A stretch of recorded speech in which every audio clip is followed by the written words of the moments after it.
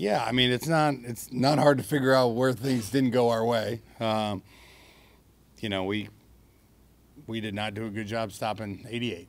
You know, he had we lose by 12 and he give up two punt returns, um, couple turnovers. You know, the last one I don't worry about, and but there were a couple that that hurt us. But I mean, those ones are hard to overcome. You have to play really well to overcome 14 points on special teams. You know, and so uh, frustrating. I thought we fought back in the second half to get back in it. Uh, you know, we lost our eyes a couple times on defense. You know, so they got a couple plays where we they blocked with a tight end for a little bit and then he slipped. You know, so we got to be better with our eye discipline. But um, but they fought. I thought I thought offensively, I think we could have been better. I mean, 30 points. We jumped off sides on a fourth and one, so I ended up having to kick a field goal.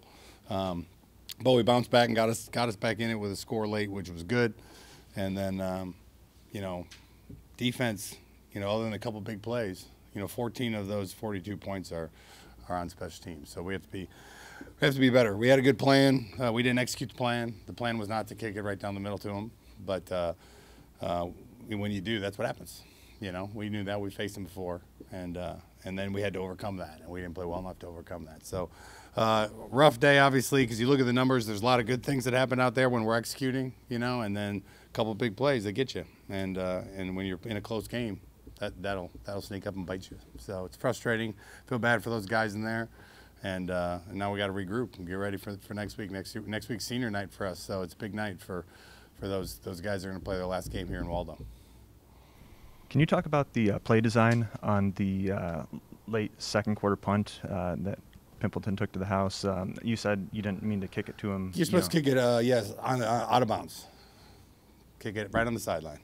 Because if you tell them to kick it out of bounds, they kick 12 yard punts. So you kick it, you tell them to land it right between the numbers and the sideline and it was kicked. It was 40 yards, 40 second hang time outside the numbers. That's the design of it. Not we he got a hold of it. I mean, it was like a 50 yard punt right down the middle, you know, which uh, then we just have to recover at that point. You know, I did, I thought the first punt was really good. He got it, skied it. You know, you got have to have four second hand time. You know, we did last year with him. Uh, 40 yard punt, 40 four, four second hang time, and we, he should be surrounded by people and it should be on the sideline. If it comes off your foot a little bit and you get a short one here and there, not a big deal.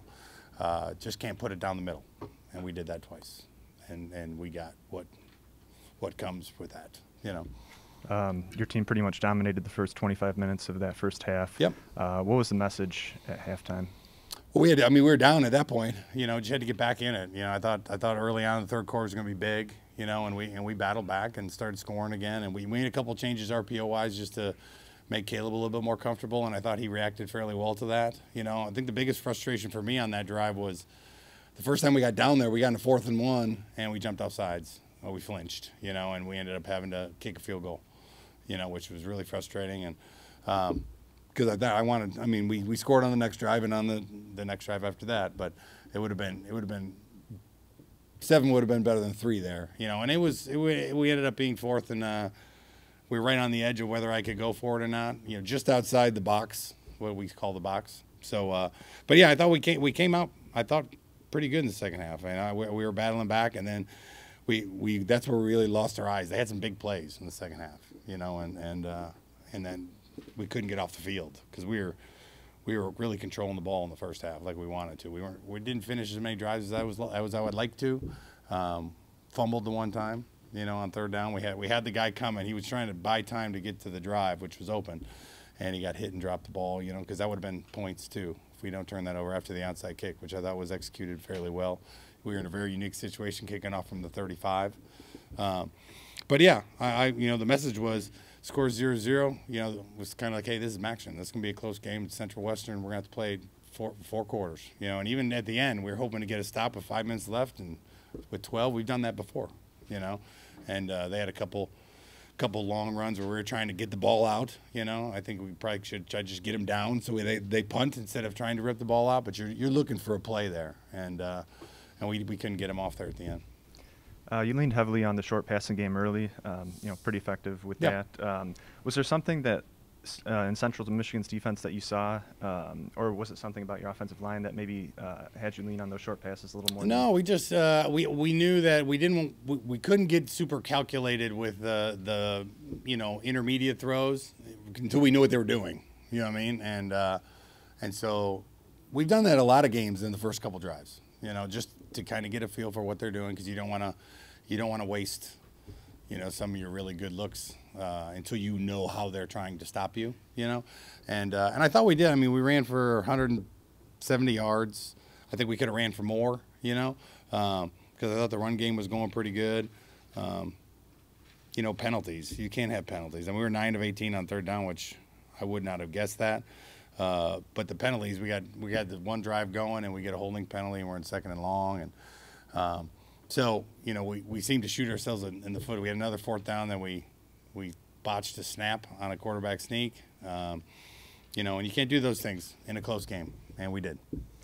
Can you talk about the strategy for defending Pimpleton in the passing game? Uh, it seemed like AJ Thomas kind of drew that assignment. Uh, yeah, you take your best on their best, right? And I mean, there were a couple times if they got in the perfect formation, it might have been somebody else, but very rarely. You know, it was like try to keep a guy on top of him at all times because he's a super dynamic player. You know, and uh, and he did. He got a couple. He got a cross country route uh, once on him, uh, maybe twice.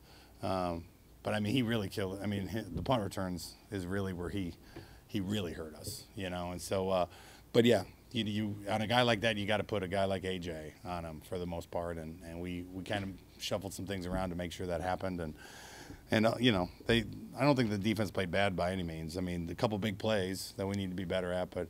Uh, they got after the quarterback. I don't know how many sacks we had, but it seemed like we were in the backfield a lot early on, and and in the red zone we were, we were you know, held them to four or seven. You know, I mean, we did some good things. You know, but just the big plays uh, really hurt us. Kaleb never seemed to really get too comfortable in the pocket tonight. Can you talk about the way the offensive line protected him? Yeah, they, they did. You know, we we max proed a little bit at the end. You know, um, once we got down, we had to push the ball down the field. He threw a great post, and then he threw a great bender, a great read. He read the coverage beautifully uh, on Corey Crooms' touchdown, and uh, which started to open up some of the intermediate passing game once we really we really got aggressive with them, you know. And um, we couldn't really rely on our run game once you're down that much with that little time left. You know, we still ran it a little bit, but um, you know, and, and there were when they gave him time, he really, you know, you know, did a really good job of finding finding the open guys. Check down, I thought really good early on, uh, but we got beat. We got beat. I know twice. Um, by thir 13. Harrison, he's a good player, you know, and we chipped him a couple times, which helped. Uh, once we started chipping him, I thought we got better.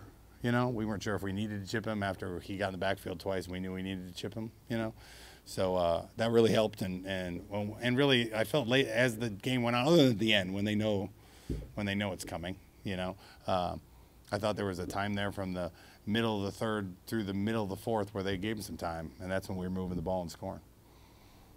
Uh, Corey Crooms had a big game tonight. Was that something that was kind of in design, or was that just what the defense was giving you? Yeah, we knew he was gonna, you know, just because of the way they play.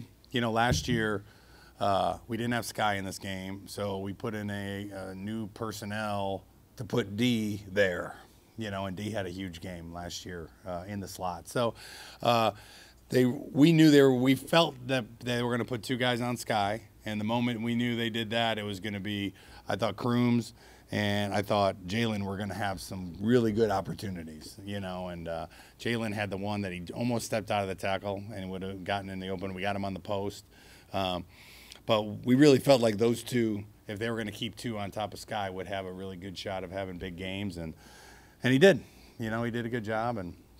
Um, they, they did a lot of running there at the end. I mean, they were all cramping up because we were we were just running them down the field, down the field, down the field, and uh, but I thought he's really coming into his own, you know, and he's he's still learning. I mean, this is the first year starting, and uh, he had a, obviously a great game against Pitt. Then struggled a little bit, you know, his route running, and he was a little bit fast for the next couple games. Not really patient. It's kind of the, the st standard learning curve, and I really felt like uh, he came out and had a good game. And uh, some of the adjustments we made at halftime were involving him.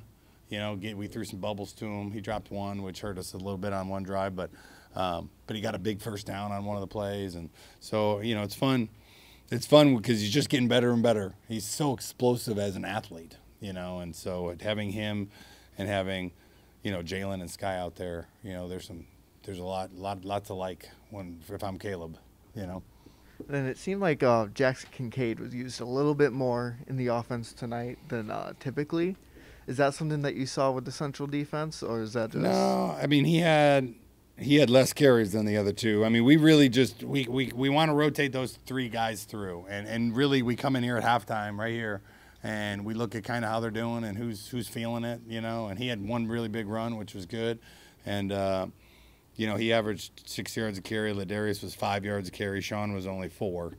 Um, so as, as the game goes on and wears down, we normally try to ride the hot hand, you know, and that was um, that's he was running really well in the first half, so he got more touches in the second. And uh, once once they got out to a two score lead, it doesn't matter quite as much, you know, because we're not gonna we're not gonna lean on the run. Um, but if we could have stayed it, if we, we could have kept it a one score game, we would have kept running the ball more and uh, and probably would have featured him even more late in the game.